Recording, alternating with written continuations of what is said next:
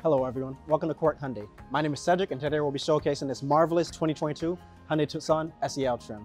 Now what you'll notice with this vehicle is it's going to have a very nice glossy premium finish and right next to that you'll see the daytime running lights which gives you extra visibility to drivers who may be around you. And also if you look down you'll get some nice 19 inch wheels for this SEL trim. This car is going to be finished in a beautiful intense blue color and you'll also notice this entire vehicle is themed on three colors which are blue, silver, as well as black. You also have roof racks included with this vehicle. And if you take a step to the back, you are going to have a ton of space for any storage and grocery shopping needs.